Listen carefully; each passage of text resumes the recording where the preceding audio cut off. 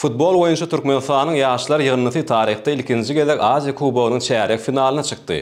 Özbegistanda dowam edýän ýaryşyň toparçalaýyn tapgyrynyň ikinji turunda Eýranyň ýygyndysyna garşy çykyş edýän ýaşlarymyz iki bir hasabynda taryhy ýeňşini baýram etdi.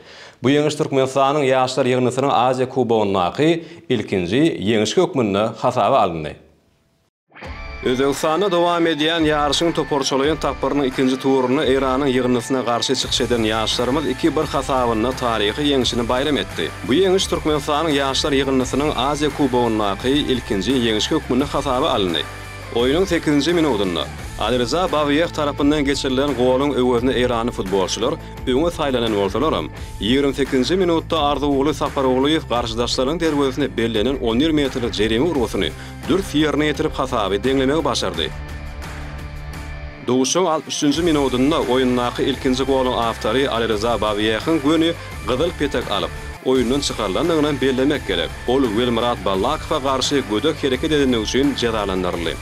Oýnuň ikinji bölüminde has dogrusy segsenji minutda Temur Çaryýew tarapyndan geçirilen owadan gol bolsa ildeşlerimize möhüm ýeňşi bagyş etdi, Türkmenistan, Eýran, iki, bir. Toparçanyň ikinji tapgyrynda orun alan ýene bir oýunda özbegistanly ýaşlar Kataryň ýygyndysyndan uly alty nol hasabynda üstün gelip, wagtyndan öň çärýek final meselesini çözdüler. A toparçada çykyş eden Ahmet Agamyradowyň şägirtleri üçünji tapgyrda bolsa katarly ýaşlar bilen duşup, iki, iki hasabynda deň oýnadylar. Duşuşykda ilkinji bolup hasaby Kataryň ýygyndysy açdy. Has dogrusy altmyş bäşinji minutda At-Toýir tarapyndan geçirilen gol garşydaşlarymyzy öňe alyp çykdy. Oýnuň ýetmiş üçünji minudynda bolsa At-Toýri özüniň we toparynyň ikinji goluny Resul Çaryýewiň goraýan derwezesinden geçirip, hasaby iki gola aşyrdy.